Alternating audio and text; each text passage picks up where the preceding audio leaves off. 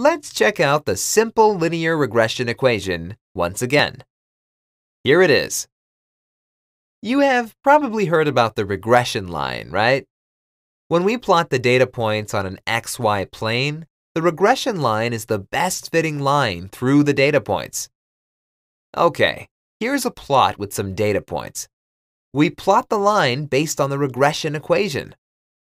The gray points that are scattered are the observed values.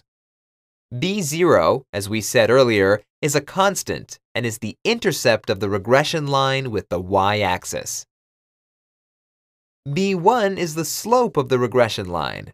It shows how much y changes for each unit change of x.